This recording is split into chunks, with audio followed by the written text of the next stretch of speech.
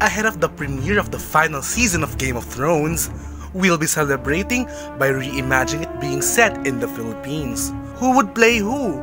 We'll let you choose in today's Choose Day.